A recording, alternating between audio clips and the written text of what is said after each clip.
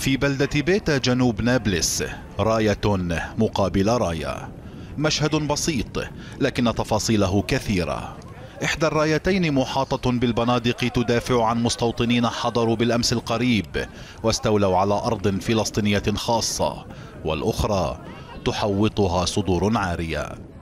الآلاف حضروا من جميع قرى وبلدات جنوب نابلس للدفاع عن أراضي البلدة وبين كر وفر شبان حاولوا الوصول إلى البؤرة الاستيطانية هذه فردهم عنها رصاص الجيش الإسرائيلي. عشرات الإصابات بالرصاص والغاز وصف بعضها بالخطير.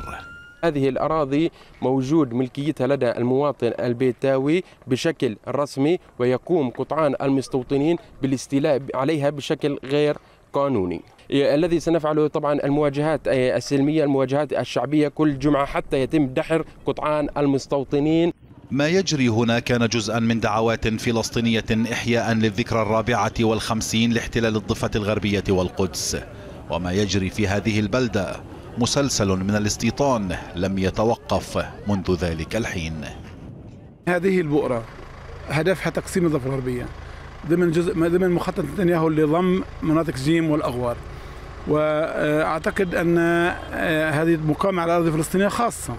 تم التصدي لها عدة مرات وإزالتها. منذ توقيع اتفاق أوسلو للسلام بين إسرائيل والفلسطينيين قبل نحو 27 عاما تضاعف الاستيطان أربع مرات حتى وصل عدد المستوطنين في الضفة الغربية والقدس إلى أكثر من 800 ألف مستوطن.